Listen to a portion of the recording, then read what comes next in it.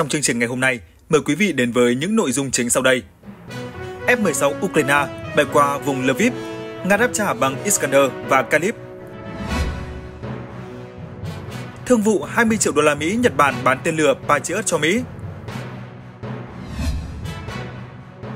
Nội bộ Hamas rồi gen tìm người thay thế mới.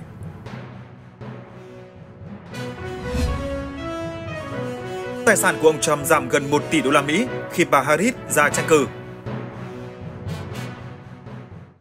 Ngay bây giờ là nội dung chi tiết. Mời quý vị và các bạn cùng theo dõi.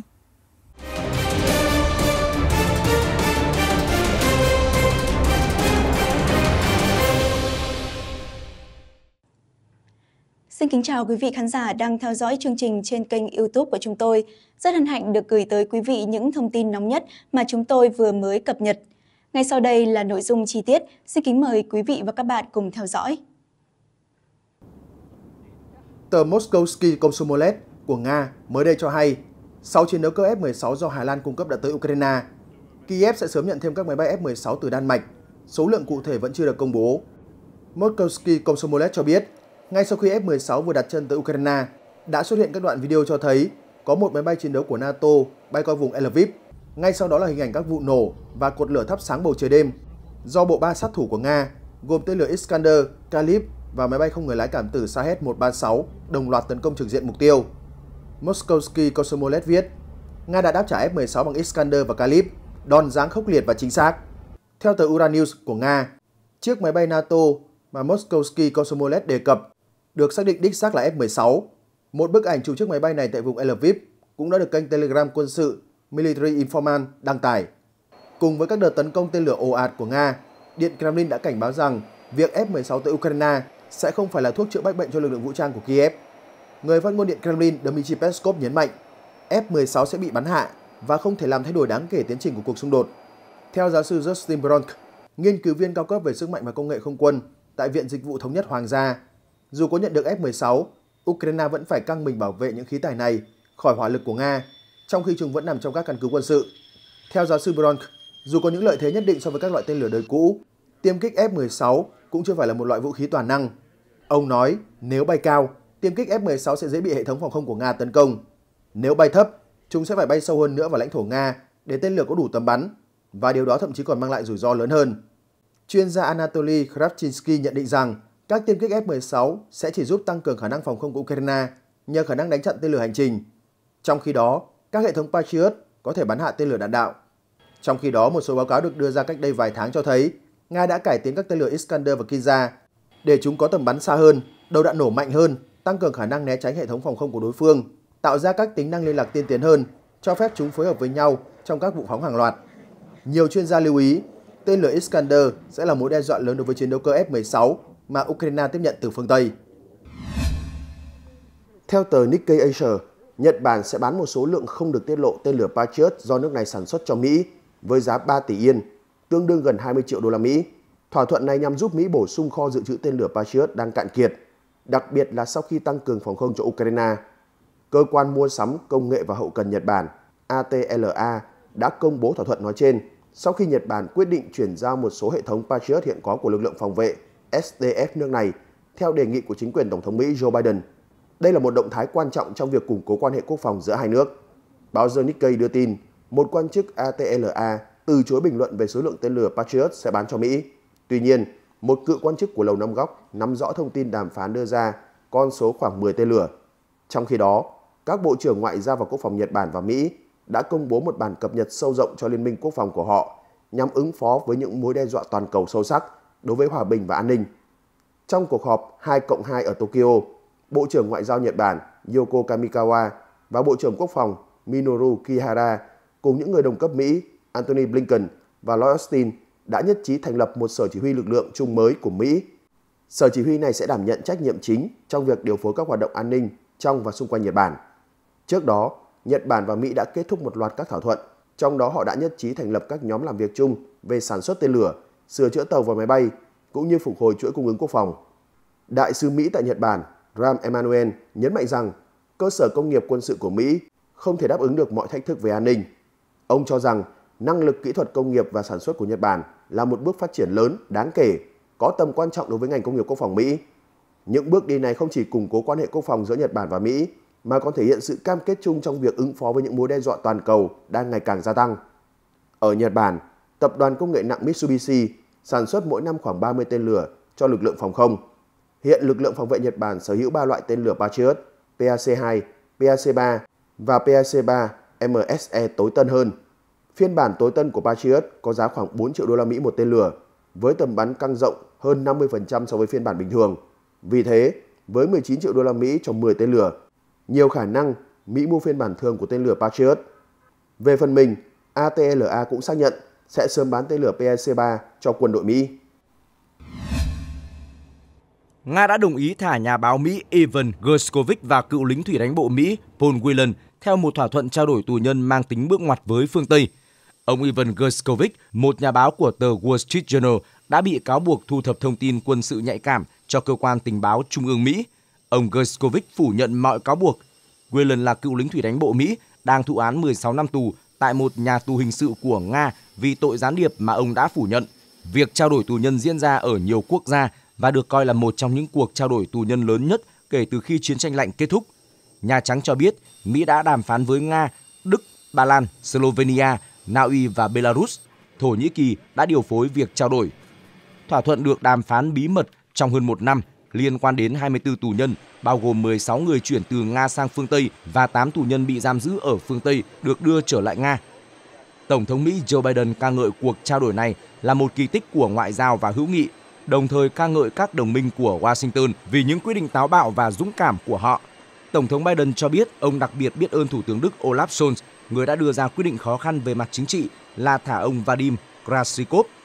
Ông Krasikov là một đại tá trong cơ quan an ninh FSB của Nga, đang thụ án trung thân ở Đức vì tội sát hại một nhà bất đồng chính kiến người Chechnya, Georgia lưu vong tại một công viên ở Berlin.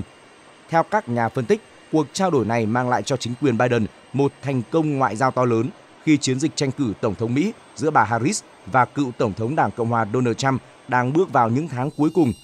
Tại Nga, Tổng thống Vladimir Putin đã đích thân chào đón những tù nhân trở về Nga tại sân bay Vnukovo 2 ở Moscow và cho biết họ sẽ được trao giải thưởng nhà nước. Trong số những người phương Tây được thả còn có ông Rico Krieger, người Đức đã bị kết án tử hình tại Belarus vì tội khủng bố. Ông đã được Tổng thống Alexander Lukashenko, một đồng minh thân cận của Tổng thống Putin, ân xá trước khi được trả tự do. Cũng được thả còn có Ansu Kermaseva, một nhà báo người Mỹ gốc Nga bị kết án 6 năm rưỡi tù vào ngày 19 tháng 7. Ngoài ra còn có Vladimir Karamoja, một nhà bất đồng chính kiến người Anh gốc Nga và là thường trú nhân Mỹ, thụ án 25 năm tù vì tội phản quốc sau khi nói rằng ông Putin đã ném bom nhà ở, bệnh viện và trường học của người Ukraine. Cùng được thả ra với họ là nhà hoạt động nhân quyền Oleg Olov và chính trị gia đối lập người Nga Ilya Yashin. Trước đó, cuộc trao đổi tù nhân lớn gần đây nhất diễn ra vào tháng 12 năm 2022 khi Mỹ thả doanh nhân người Nga Victor Bout để đổi lấy Britney Griner, một cầu thủ bóng rổ bị kết án về tội ma túy ở Moscow. Tờ Washington Post trích dẫn nguồn tin từ Lầu Năm Góc cho biết Mỹ đã triển khai 12 tàu chiến đến Trung Đông. Động thái này diễn ra trong bối cảnh nguy cơ gia tăng xung đột ngày càng cao. Mặc dù vậy, Bộ Quốc phòng Mỹ từ chối bình luận về bất kỳ thay đổi nào về thế trận lực lượng của họ ở Trung Đông. Trước đó, Iran đã đe dọa thực hiện một cuộc tấn công trả đũa vào Israel sau vụ ám sát nhà lãnh đạo Hamas Ismail Haniyeh. Lãnh tụ tối cao Iran Ayatollah Ali Khamenei được cho là cũng ra lệnh tấn công trực tiếp vào Israel để đáp trả vụ ám sát. Ngoài ra, đại sứ Iran tại Liên Hợp Quốc đổ lỗi cho Mỹ về cái chết của ông Hanije, tuyên bố rằng điều đó không thể xảy ra nếu không có sự cho phép và hỗ trợ tình báo của Mỹ. Chủ tịch Quốc hội Iran Mohammad Bagher Kalibab còn cáo buộc Washington phối hợp và hỗ trợ cho vụ tấn công mặc dù Mỹ phủ nhận mọi liên quan. Hamas cũng đã xác nhận ông Hanije thiệt mạng trong một cuộc tấn công sau khi ông tham dự lễ nhậm chức của Tổng thống Iran mới đắc cử Masoud Pezeshkian. Vụ ám sát ông Hanije và vụ tấn công vào chỉ huy Hezbollah trước đó là Fuad Shukr ở Beirut, Liban có thể làm gia tăng căng thẳng và dẫn đến một cuộc xung đột toàn diện trong khu vực. Trước diễn biến trên, người phát ngôn Hội đồng An ninh Quốc gia Mỹ John Kirby cho biết Washington không tin rằng sự căng thẳng ở Trung Đông là điều không thể tránh khỏi và không thấy dấu hiệu nào cho thấy điều đó sắp xảy ra. Về phần mình, Ngoại trưởng Mỹ Antony Blinken kêu gọi tất cả các bên tránh những hành động căng thẳng và nhấn mạnh rằng lệnh ngừng bắn là cách duy nhất để ngăn chặn bạo lực. Vụ ám sát ông Haniyeh ở Tehran và vụ tấn công nhằm vào chỉ huy cấp cao của Hezbollah là Fuad Sukr ở Beirut, Liban có thể làm đảo lộn các nỗ lực nhằm vô hiệu hóa thùng thuốc súng ở Trung Đông.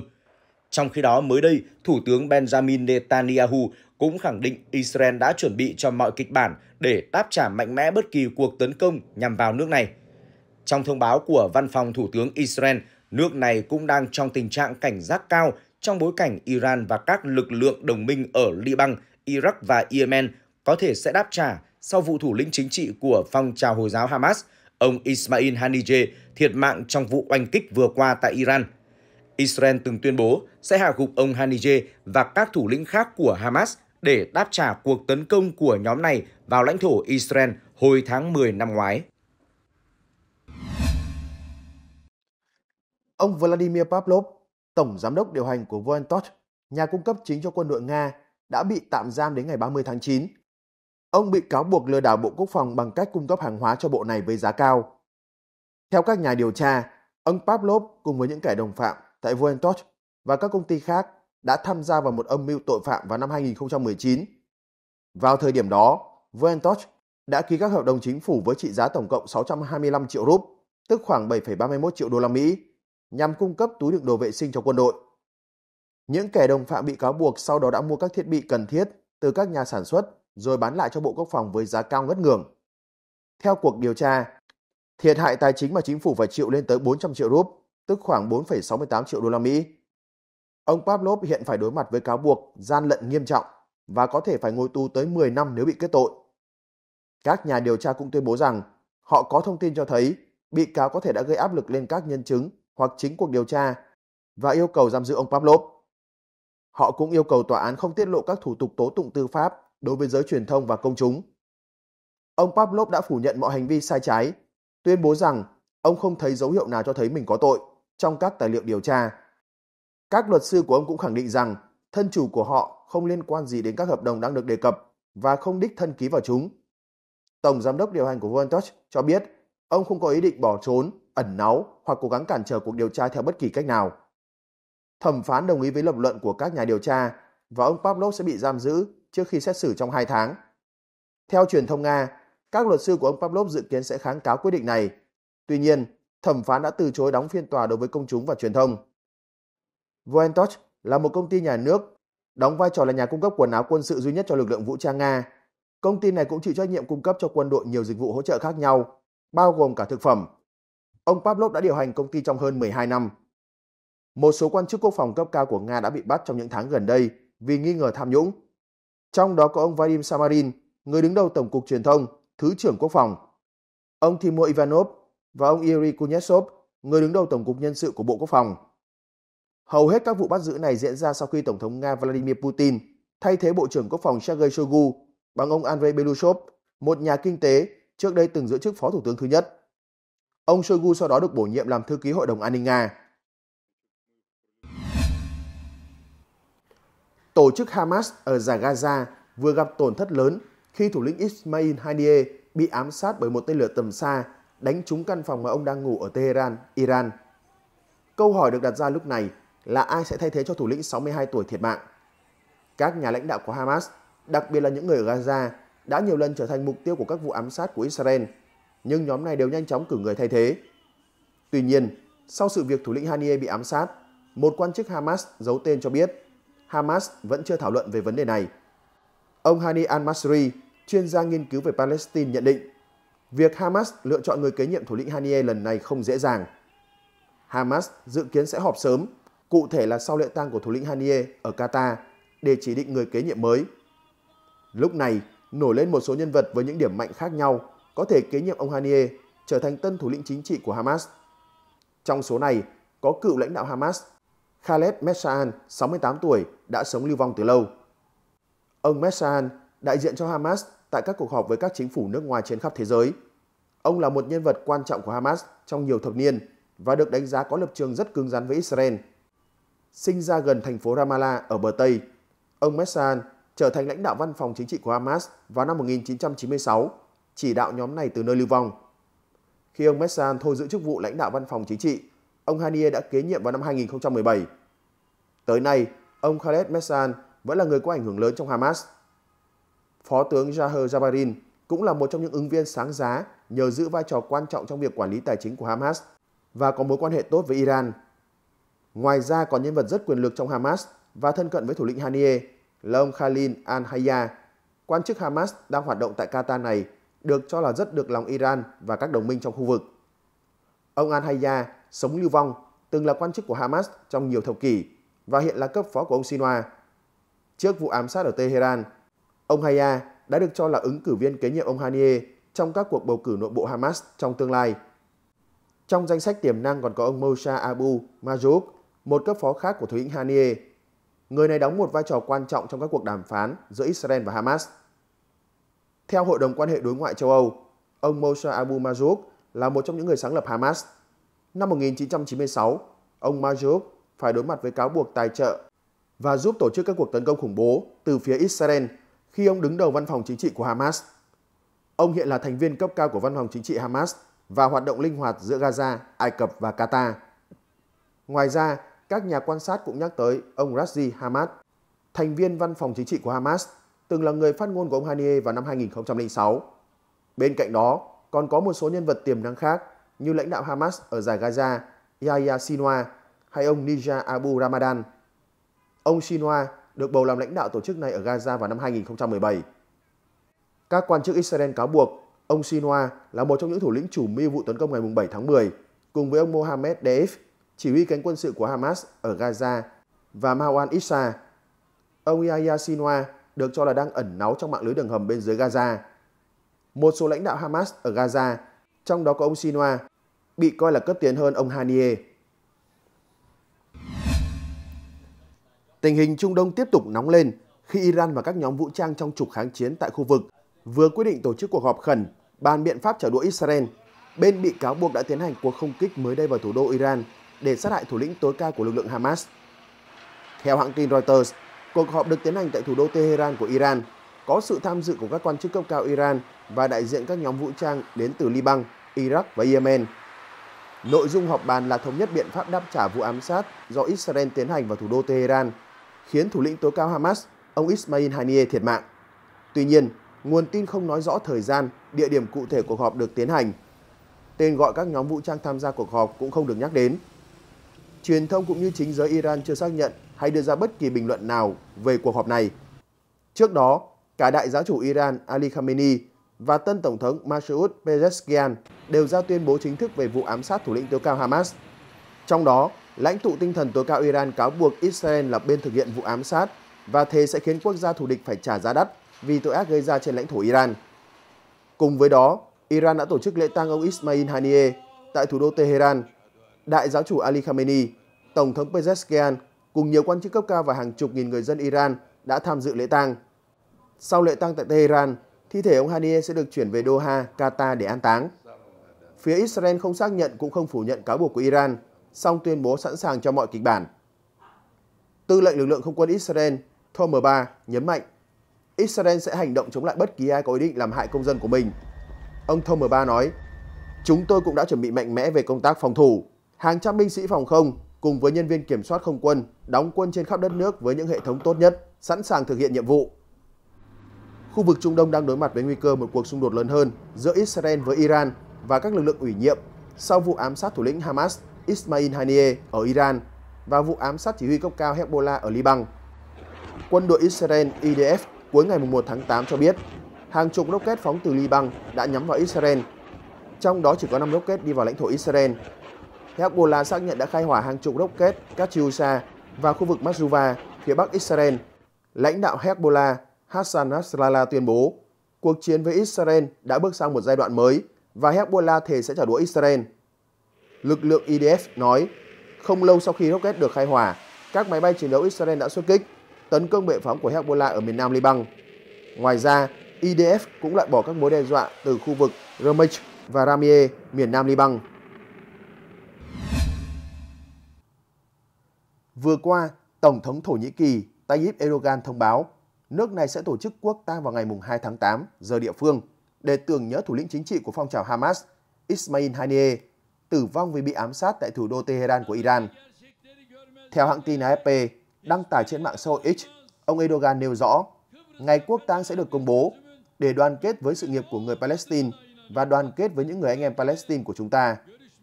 Trước đó, Tổng thống Thổ Nhĩ Kỳ đã lên án vụ ám sát nhằm vào ông Haniyeh và cho rằng đây là hành động đê hèn nhằm phá hoại sự nghiệp của người Palestine, làm mất tinh thần và đe dọa người Palestine. Nhà lãnh đạo khẳng định Thổ Nhĩ Kỳ tiếp tục ủng hộ việc thành lập một nhà nước Palestine chủ quyền và độc lập. Tuyên bố được đưa ra sau khi thủ lĩnh phong trào Hamas ở giải Gaza, Ismail Haniyeh, tử vong trong một cuộc ám sát tại nơi ở của ông ở thủ đô Tehran, Iran, dạng sáng 31 tháng 7. Trước đó, hãng tin Reuters dẫn các nguồn thạo tin cho biết, kể từ tháng 10 năm ngoái, khi xung đột ở giải Gaza nổ ra, Thổ Nhĩ Kỳ đã chặn sự hợp tác giữa Liên minh Tổ chức Hiệp ước Bắc Đại Tây Dương, NATO, mà quốc gia này là thành viên, với Israel. Thổ Nhĩ Kỳ cho rằng NATO không nên hợp tác với Israel như một đối tác cho đến khi cuộc xung đột kết thúc. Sau cuộc tấn công của Israel ở Gaza, Thổ Nhĩ Kỳ đã chỉ trích mạnh mẽ và dừng mọi hoạt động thương mại song phương với quốc gia Trung Đông này, đồng thời lên án việc các đồng minh phương Tây vì đã ủng hộ Israel. Các nguồn tin cho biết, Thổ Nhĩ Kỳ đã phủ quyết mọi hoạt động của NATO với Israel, coi cuộc chiến của Israel ở Gaza là vi phạm các nguyên tắc sáng lập của NATO. Theo các nguồn tin, Thổ Nhĩ Kỳ sẽ duy trì lệnh phong tỏa này và không cho phép Israel tiếp tục hoặc thúc đẩy tương tác với NATO cho đến khi xung đột kết thúc, vì họ tin rằng hành động của Israel ở Gaza vi phạm luật pháp quốc tế và quyền con người phổ quát. Israel là đối tác của NATO và đã thúc đẩy mối quan hệ chặt chẽ với Liên minh quân sự và một số thành viên của Liên minh, đặc biệt là với Mỹ. Cũng trong diễn biến liên quan, Tổng thống Thổ Nhĩ Kỳ gần đây cho rằng chính quyền Thủ tướng Israel Benjamin Netanyahu muốn đám cháy ở Gaza lan rộng ra toàn khu vực Trung Đông. Trước đó, theo báo The Times ở Israel, Tổng thống Erdogan dường như đã đe dọa sẽ đưa binh sĩ vào Israel để ủng hộ người Palestine và chấm dứt cuộc xung đột kéo dài gần 10 tháng giữa Israel và Hamas ở giải Gaza. Ông Erdogan đã phát biểu tại một sự kiện của Đảng Công lý và Phát triển AKP cầm quyền như sau. Chúng ta phải rất mạnh mẽ để Israel không thể tấn công Palestine, giống như chúng ta đã tiến vào Karabakh và như cách chúng ta tiến vào Libya. Có lẽ chúng ta sẽ làm điều tương tự với họ, tức Israel. Không có gì chúng ta không thể làm, chúng ta phải mạnh mẽ. Mặc dù Tổng thống Thổ Nhĩ Kỳ Erdogan từ lâu là người ủng hộ hàng đầu cho quyền lợi của người Palestine, nhưng nhìn chung, ông tránh trực tiếp đe dọa xâm lược Israel. Do đó, phát ngôn này của ông gây chú ý trong bối cảnh xung đột Israel-Hamas vẫn tiếp diễn.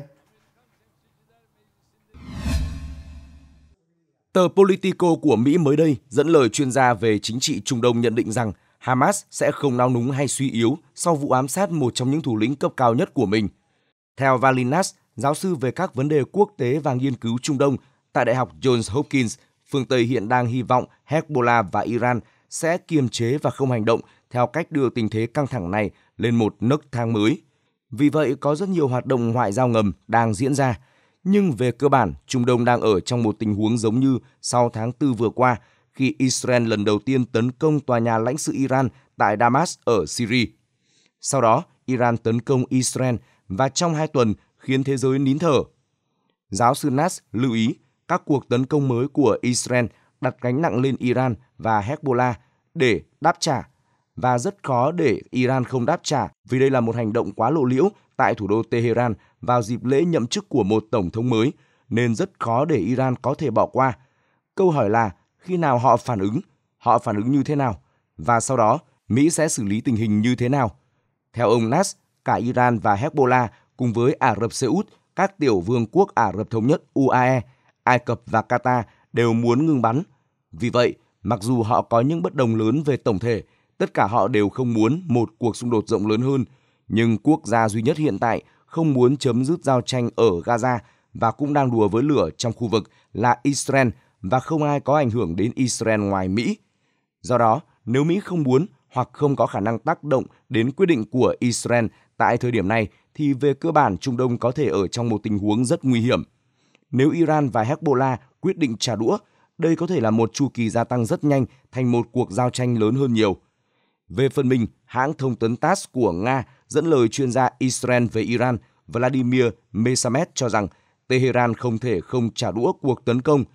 Ông Mesamet nói rằng câu hỏi duy nhất là liệu bản thân Iran có phản ứng hay sẽ sử dụng lực lượng mà họ kiểm soát ở Iraq, Liban và Yemen để phản công.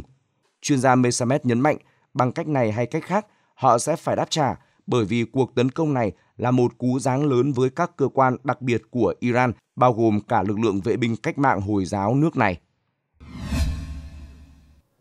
Theo lực lượng vệ binh cách mạng Hồi giáo Iran, IRGC, ông Ismail Haniyeh, thủ lĩnh lực lượng Hamas và một vệ sĩ thiệt mạng khi nơi ở của họ tại Tehran bị tập kích. Ông tham dự lễ nhậm chức của tân Tổng thống Iran Masoud Pezeshkian. Các nhà phân tích cho rằng vụ ám sát gửi thông điệp đến Iran và các nước đồng minh rằng họ không nằm ngoài tầm với của Israel, ngay cả ở thủ đô Tehran. Sự việc cũng làm nổi bật khả năng hoạt động ngầm của Israel tại Iran. Hiện Israel chưa lên tiếng về vụ việc. Các quan chức Mỹ cũng cho biết nước này không liên quan. Vụ ám sát xảy ra chỉ vài giờ sau khi Israel tấn công chỉ huy cấp cao Hezbollah Fuad Shuk tại một thành trì ở Beirut, cho thấy ngay cả lực lượng ủy nhiệm mạnh nhất của Iran cũng có thể bị đánh bại nhanh chóng. Hezbollah xác nhận cái chết của chỉ huy Shuk sau khi Israel công khai tuyên bố về cuộc tấn công. Gregory Bru, nhà phân tích thuộc Eurasia Group đưa ra nhận định, việc ám sát nhân vật có tầm vóc như ông Haniyeh có thể nói là chưa từng có tiền lệ, và sự việc xảy ra chỉ vài giờ sau lễ nhậm chức của tân Tổng thống Iran đã gửi một tín hiệu rõ ràng rằng Israel có khả năng và sẵn sàng nhằm vào các nhân vật quan trọng bất cứ lúc nào, bất cứ ở đâu. Fajan Sabet, nhà nghiên cứu cấp cao tại Viện Đào tạo sau đại học Geneva, mô tả việc ám sát thủ lĩnh Haniyeh là một sự thất bại lớn của an ninh Iran, đồng thời chỉ ra một số nguyên nhân đằng sau. Theo ông Sabet, sự yếu kém trong hệ thống an ninh tình báo Iran có thể bắt nguồn từ nhiều yếu tố như nền kinh tế ảm đạm và bất ổn xã hội, thiếu hụt nhân tài và nhân viên đáng tin cậy, cùng bộ máy an ninh không đủ tối ưu để đối phó với các mối đe dọa từ nước ngoài.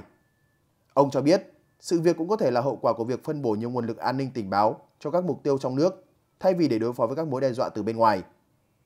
Ông Sabet nhận định rằng, sự việc khác so với các vụ ám sát trước đây của Israel tại lãnh thổ Iran thường nhắm vào các nhân vật quân sự hoặc nhà khoa học cá nhân, thay vì nhân vật chính trị như ông Haniyeh.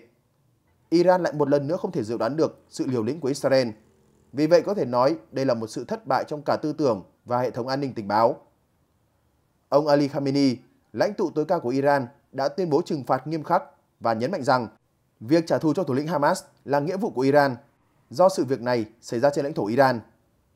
Jason Brodsky, giám đốc chính sách của tổ chức UANI, chia sẻ với tờ Al Arabiya English rằng Iran có thể đáp trả trực tiếp, tương tự việc phóng hàng trăm drone và tên lửa về phía Israel sau cuộc tấn công vào lãnh sự quán Iran ở Damas vào tháng 4. Ngoài ra, sẽ đến thời điểm vụ ám sát, chỉ vài giờ sau khi một vị chỉ huy cấp cao của Hezbollah bị nhắm đến, thì có khả năng Iran và các lực lượng đồng minh sẽ có phản ứng phối hợp. Các hành động khác có thể gồm việc nhằm vào công dân Israel trên toàn cầu, gia tăng các hoạt động hạt nhân, gây gián đoạn các tuyến đường vận tải biển hoặc tấn công các cơ sở ngoại giao của Israel. Tuy nhiên, do các điểm yếu nội bộ và sự yếu kém về quân sự của Cộng hòa Hồi giáo, đa số các nhà quan sát đều cho rằng Tehran khó có khả năng đối phó trước một cuộc xung đột toàn diện với Israel hoặc Mỹ.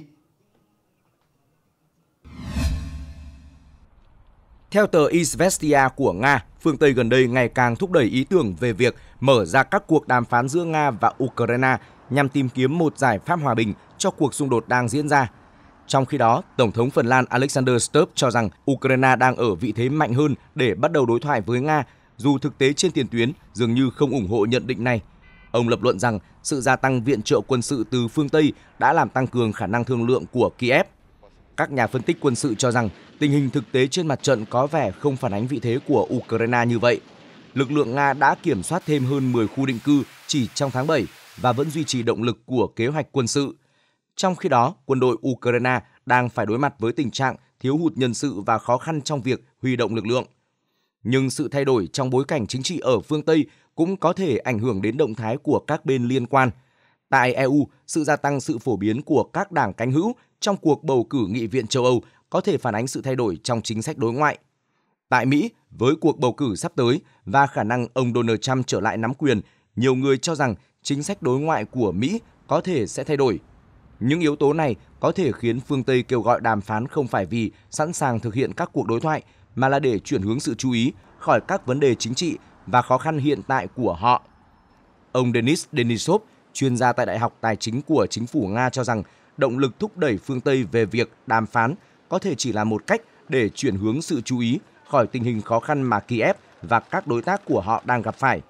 Ông Denisov cho rằng nếu các quốc gia phương Tây thực sự có lập trường thống nhất về nhu cầu đàm phán, Kiev có thể sẽ ủng hộ kế hoạch đó. Tuy nhiên, hiện tại dường như các sáng kiến về đàm phán chỉ là một phần của chiến lược chuyển hướng và không thực sự thể hiện sự sẵn sàng cho tiến trình hòa bình. Về phần mình, ông Dmitry Ofisterov Bensky, nhà nghiên cứu cấp cao tại Viện Kinh tế Thế giới và Quan hệ Quốc tế IMEMO thuộc Viện Hàn lâm Khoa học Nga RAS nhận định sự mệt mỏi vì xung đột không nhất thiết đồng nghĩa với việc các bên sẵn sàng chấm dứt xung đột. Ông lưu ý rằng xung đột có thể bị đóng băng, nhưng để thực sự chấm dứt, cần có những đề xuất cụ thể. Theo ông, phương Tây có thể chỉ muốn đưa Nga vào quá trình đàm phán để đóng băng xung đột, sau đó tiếp tục cuộc giao tranh khi cần thiết. Một điểm quan trọng trong tình hình hiện tại là sắc lệnh của Tổng thống Ukraine Volodymyr Zelensky cấm các cuộc đàm phán với Nga. Theo giới lãnh đạo Nga, nếu Ukraine thực sự muốn chứng tỏ sự sẵn sàng cho việc đối thoại, trước tiên Kiev cần phải hủy bỏ sắc lệnh này. Đến nay, Ukraine vẫn chưa thực hiện điều đó, có nghĩa là bất kỳ lời lẽ về tiến trình hòa bình đều có thể chỉ là để thăm dò phản ứng của Nga. Như vậy, mặc dù phương Tây ngày càng kêu gọi mở đàm phán giữa Nga và Ukraine, thực tế là các quốc gia này chưa thực sự thể hiện sự sẵn sàng cho một tiến trình hòa bình thực chất. Các yếu tố chính trị nội bộ và chiến lược của các bên liên quan cũng như sự thiếu vắng các hành động cụ thể từ Ukraine cho thấy rằng việc tìm kiếm một giải pháp hòa bình toàn diện vẫn còn nhiều thách thức.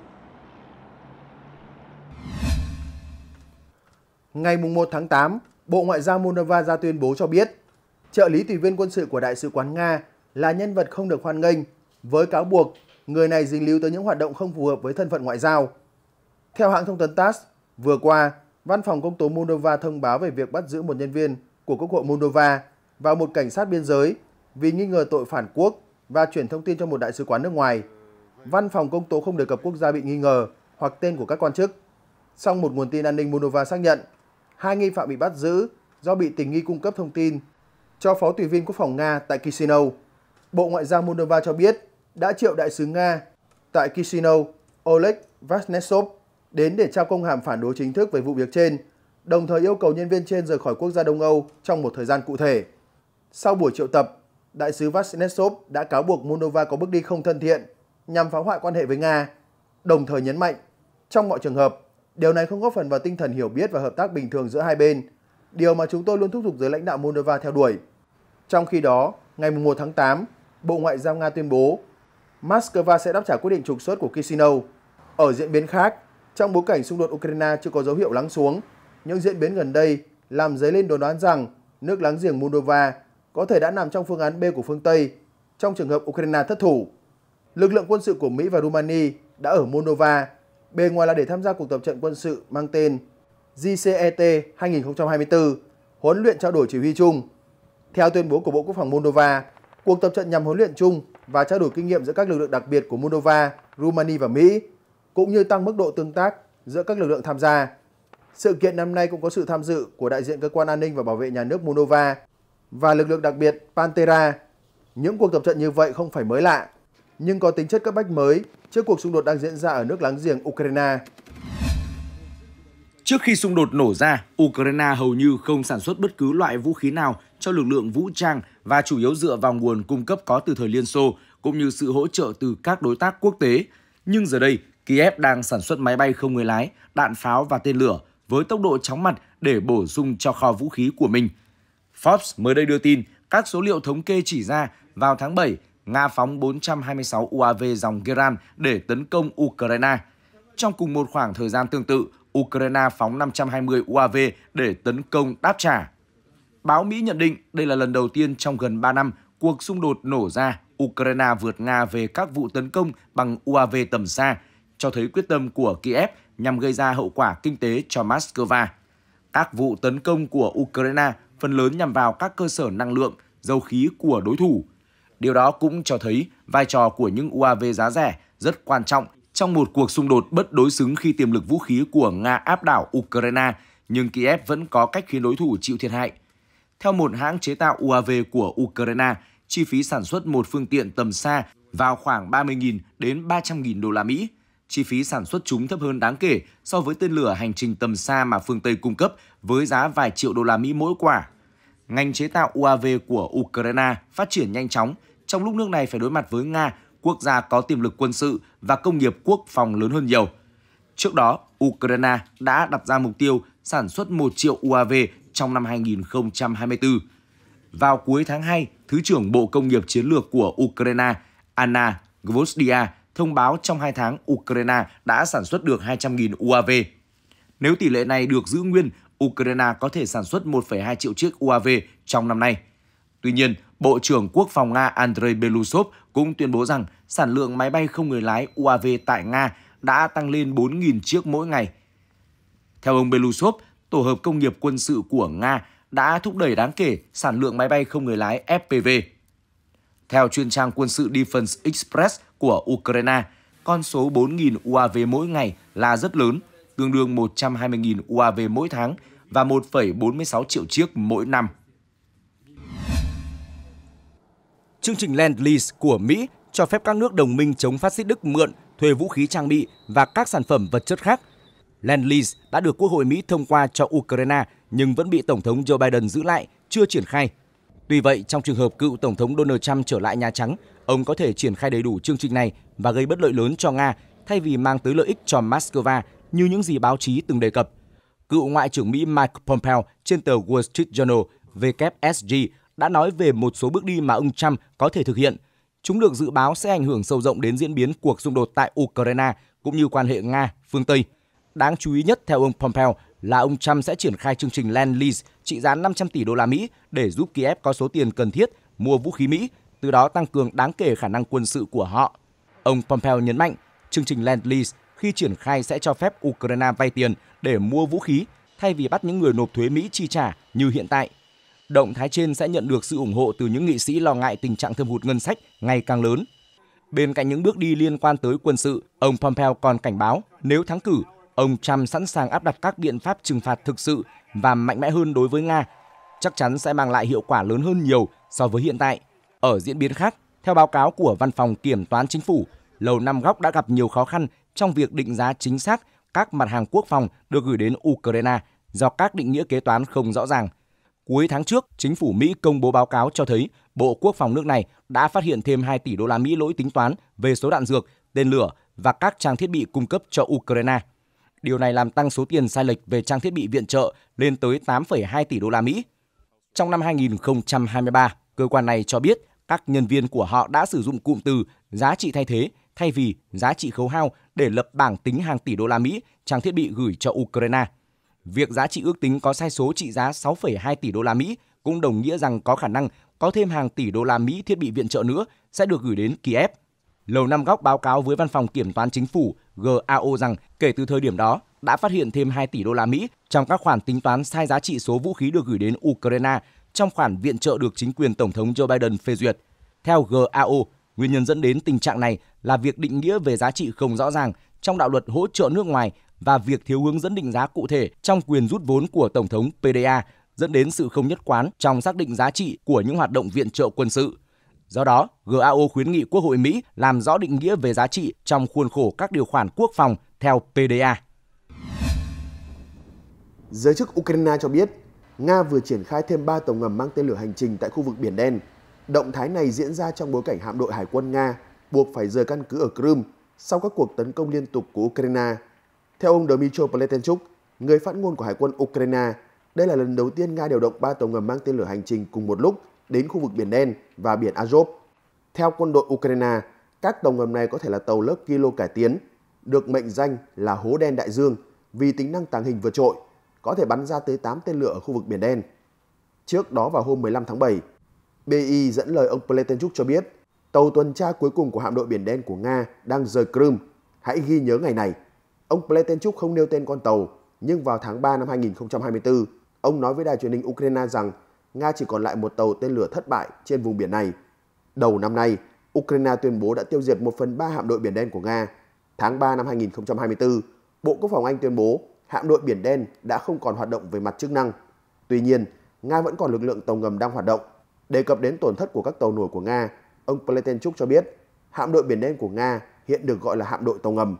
Hạm đội Biển Đen của Nga có 6 tàu ngầm lớp kilo cải tiến, một tàu Rostov-on-Don đã bị hư hại vào mùa thu năm ngoái do bị tên lửa hành trình Storm Shadow Scap EG của Ukraine bắn.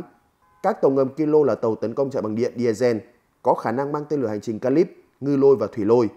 Trong những tháng gần đây, các quan chức hải quân Ukraine cho biết chuỗi tấn công của các lực lượng Kiev vào Crimea và xung quanh Biển Đen đã buộc Hải quân Nga phải thay đổi phương thức hoạt động. Theo đó, Ukraine đã tiến hành một số cuộc tấn công lớn vào cảng Sevastopol nhằm vào một số tàu mặt nước và tàu ngầm của Nga.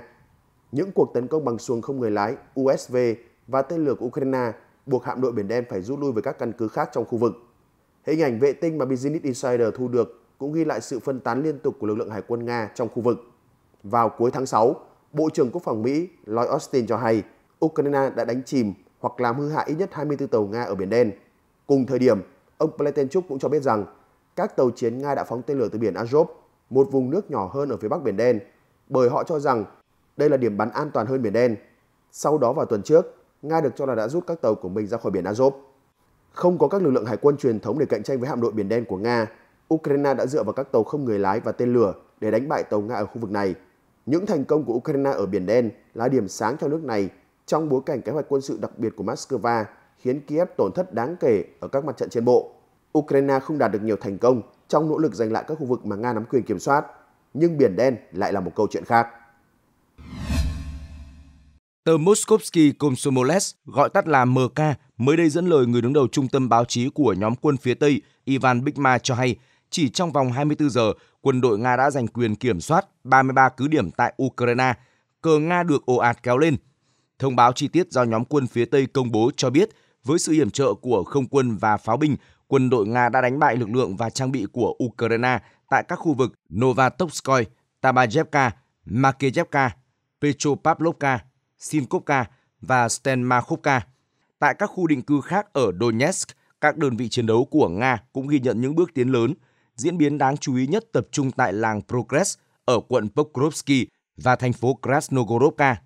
Theo hãng thông tấn RIA Novosti, trong quá trình giao tranh ở làng Progress, các binh sĩ thuộc đội xung kích lữ đoàn Slaviansk cận vệ số 1 của Nga đã bắt sống được hai binh sĩ Ukraine, trong đó có một sĩ quan. Theo tờ Rossiyskaya Gazeta, Nga tiến công quá nhanh đang khiến nội bộ Ukraine rối ren. Tại Kiev, giới chức chính phủ cũng đang đau đầu với thiệt hại của quân đội. Nghị sĩ Quốc hội Ukraine Mariana Bezukla gần đây đã đổ lỗi cho Tổng tư lệnh các lực lượng vũ trang Ukraine Oleksandr Sisky về thất bại của quân đội Ukraine trên chiến trường. Trang tin Military Review cho hay ông Sisky hiện đang phải đối mặt với những lời chỉ trích gay gắt tại Ukraine sau khi để mất Krasnohorovka. Giới chuyên gia quân sự nhận định Krasnohorovka có tầm quan trọng chiến lược dài hạn với Ukraine, do đây là điểm tập kết lực lượng cho những cuộc phản công lớn nhằm vào khu vực do Nga kiểm soát ở tỉnh Donetsk, trong đó có thủ phủ cùng tên. Krasnohorovka cũng có giá trị chiến thuật lớn với Nga. Kiểm soát thành phố sẽ giúp họ đẩy lùi mối đe dọa pháo kích nhằm vào thành phố Donetsk, mở ra những mũi tấn công mới nhằm cắt đứt tuyến hậu cần đến nhiều thành trì của Ukraine trong khu vực, đồng thời xây dựng được trận địa hỏa lực uy hiếp sườn của đối phương. Military Review cho hay, ngoài Krasnohorovka, Marianka và Adipka cũng là một phần của bàn đạp Donetsk. Tuy nhiên, lực lượng Ukraine đã để mất cả hai thành trì này thời gian trước. Cũng theo trang tin này, các đại biểu Quốc hội Ukraine đang gây sức ép buộc ông Sisky từ chức. Đây không phải là lần đầu tiên ông Sisky đối mặt với vấn đề này. Hồi tháng 7, theo kênh truyền hình vệ tinh Espresso TV của Ukraine, trên mạng xã hội Ukraine dậy sóng thông tin Tổng tư lệnh các lực lượng vũ trang Ukraine Oleksandr Sisky bị sa thải. Nguyên nhân được cho là do ông Sisky đã nổi loạn khi từ chối thực hiện mệnh lệnh của ông Zelensky châm ngòi một cuộc xung đột công khai với văn phòng Tổng thống Ukraine. Hiện, Bộ Chỉ huy Ukraine đã bắt đầu rút quân khỏi Krasnohorovka, chỉ để lại một biệt đội cảm tử trực thuộc Lữ đoàn 59 ở đó. Military Review cung cấp thông tin, tàn quân của Ukraine đang ở trong túi lửa.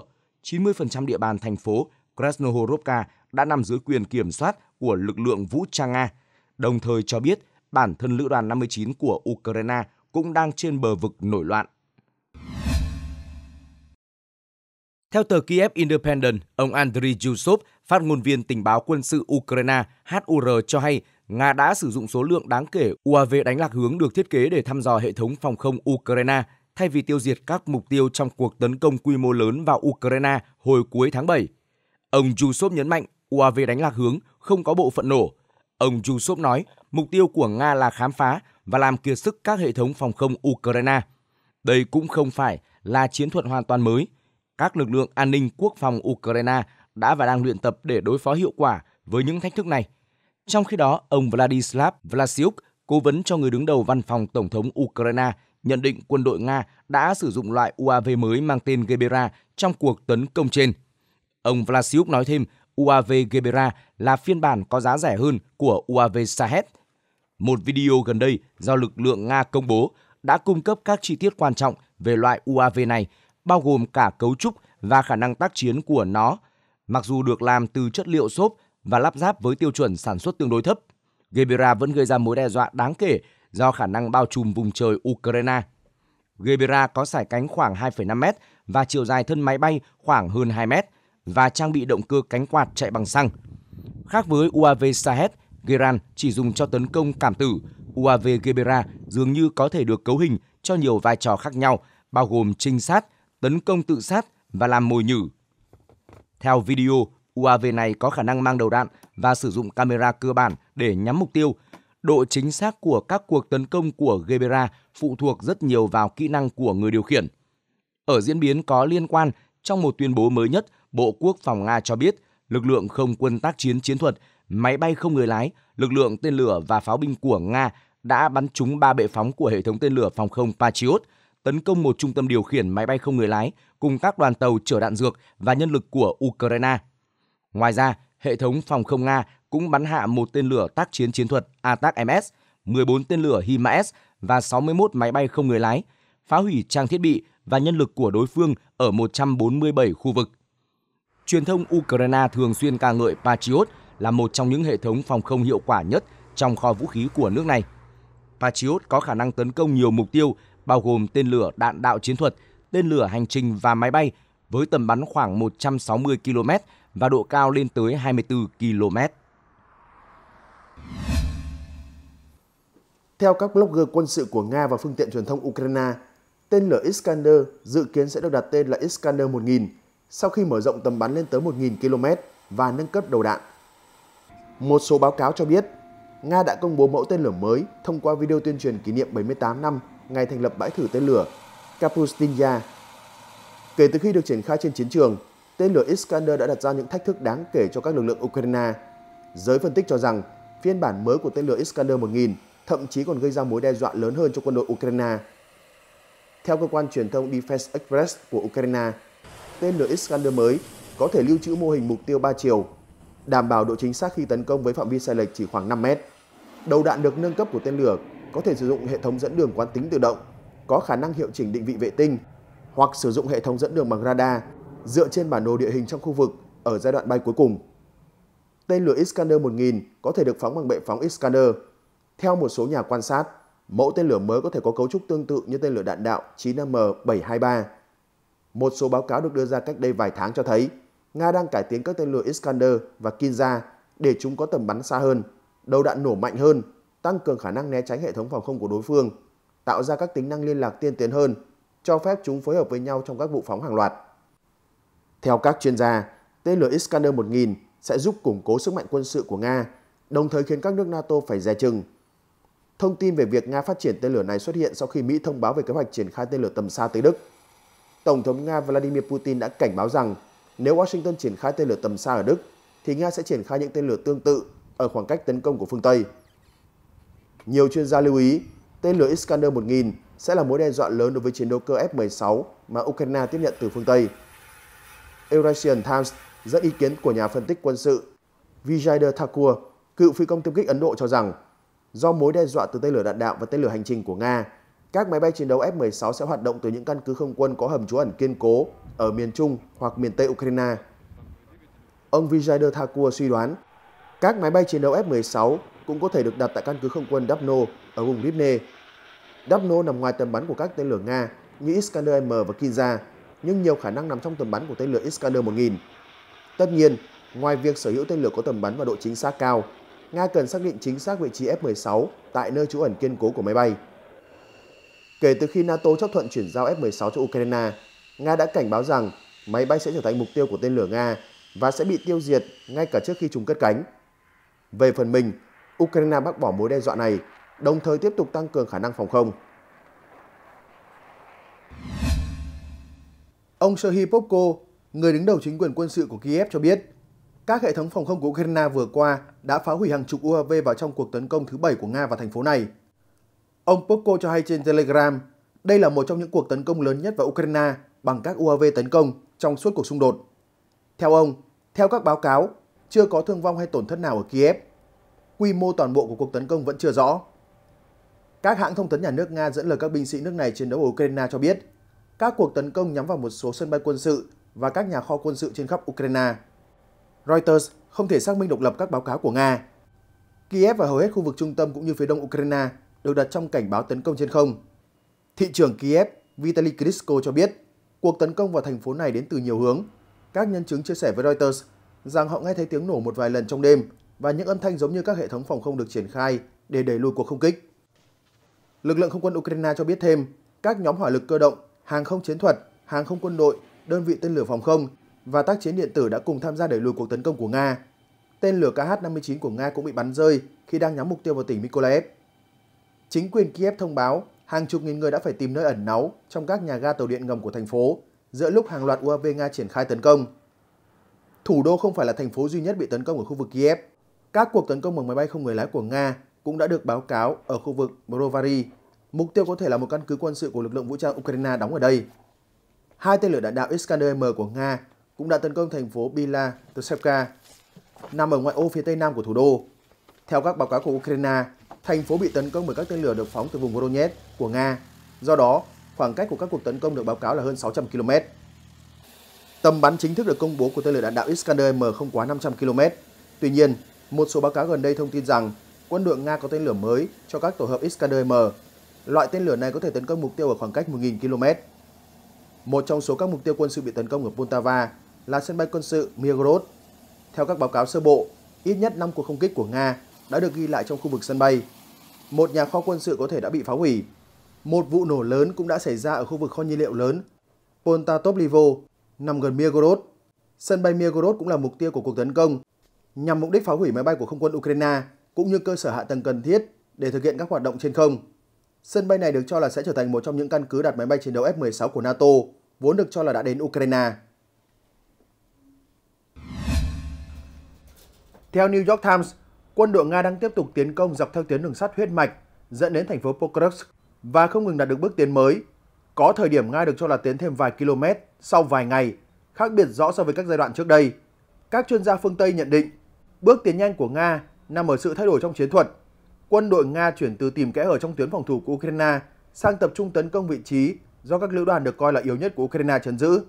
Chuyên gia Mykola Bielieskov đến từ Viện Nghiên cứu Chiến lược ở Ukraine nói, chiến thuật của Nga bắt đầu bằng cách tiến công với mục đích thăm dò, thử phản ứng của các tiểu đoàn hoặc lữ đoàn Ukraine.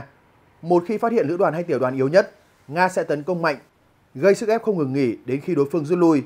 Mới đây, Bộ Quốc phòng Nga cho hay, Ukraine được cho là đã mất hơn 60.000 binh sĩ trong cuộc xung đột với Nga vào tháng 7. Điều đó có nghĩa là tương đương 2.000 người mỗi ngày. Hầu hết thiệt hại của Ukraine nằm ở khu vực hoạt động của các nhóm tác chiến phía Nam và Tây của Nga.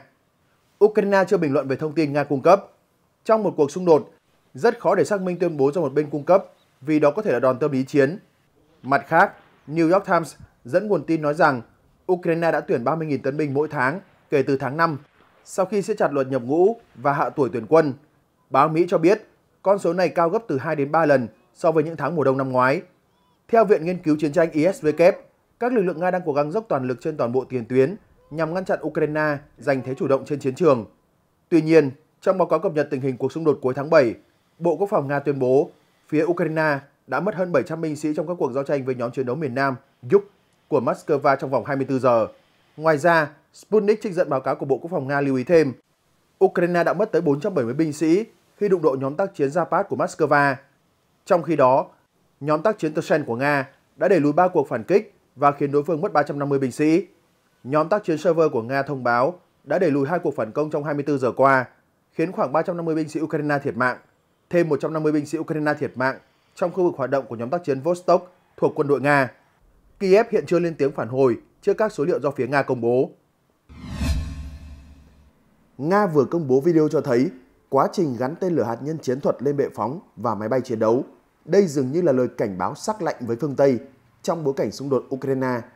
Trong video xuất hiện hai xe ô tô mang bệ phóng, xe được ngụy trang và giấu kỹ trong rừng, có lính bảo vệ nghiêm ngặt. Sau đó là hình ảnh cầu tên lửa và đặt vào bệ phóng.